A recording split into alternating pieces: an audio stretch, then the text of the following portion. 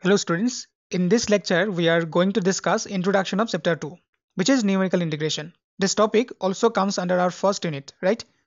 Actually this lecture is the motivation of numerical integration that uh, why this topic included in our syllabus or what is the application of this chapter. All will be covered in this short lecture. Okay, so let's start. We have already learned in class 11 statistics and physics that how to calculate some definite integrals analytically such as if we integrate the function x over the range 0 to 2, then by using basic rule of property of integration, we'll get the answer is 2, right? But most of the integrals, say for example, integration 1 to 2 e raised to power minus x square dx cannot be calculated analytically. Here, the integrand, that is the function fx is equal to e raised to power minus x square, is not integrable over any range of integral by using any rules or properties of integration.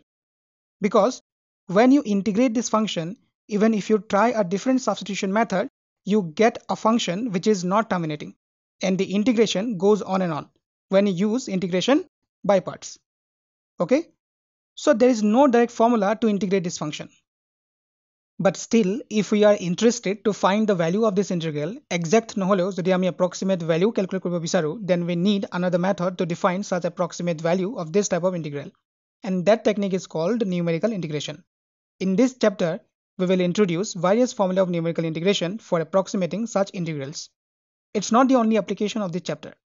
Even when the form of the function is not completely known, but if we are given the values of the function for some equidistant arguments, then still we can use this technique to find such values. Whereas by analytical method of integration is not possible to find if we are given such values. Okay?